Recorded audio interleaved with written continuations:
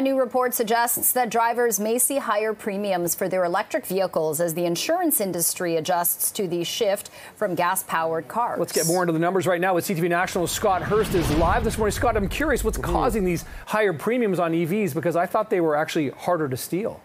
Well, good morning, Nick and Jen. Let's mm-hmm. put two cars side by side to compare here. You have electric vehicles and the traditional gas powered vehicles. With the electric vehicle, you can't just pop the hood and tinker and kind of fix a few things as you go. Of course, for EVs, they might have lower day to day maintenance costs, but these are complex machines. These are computer parts and these are batteries on wheels. So if those get damaged or need to be replaced, that's much more costly. So you might not have the day-to-day maintenance costs, but the repair is complex and quite expensive. And a current shortage of trained technicians could leave EV owners with longer wait times and higher repair bills overall, in turn increasing the cost of claims.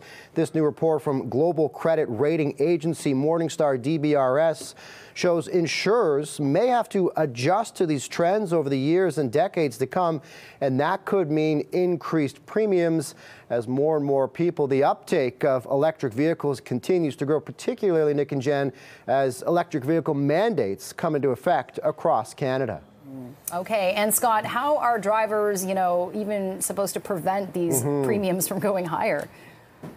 Well, right now they're not significant because the percentage of electric vehicles isn't significant, so it's not a cross Canada issue where EV, um, where the cost of EV premiums is driving up things for Canadians coast to coast. The bigger concern right now for premiums is inflation and the ongoing issue of auto theft. Those are really driving factors for premiums right now. Yeah, they certainly are. All right, CTV National Scott Hurst reporting live for us. Thanks, Scott. Thanks, Scott. Thank you.